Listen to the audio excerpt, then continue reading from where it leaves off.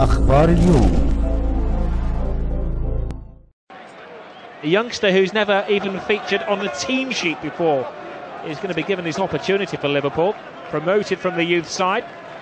Fresh faced teenager Steven Gerrard.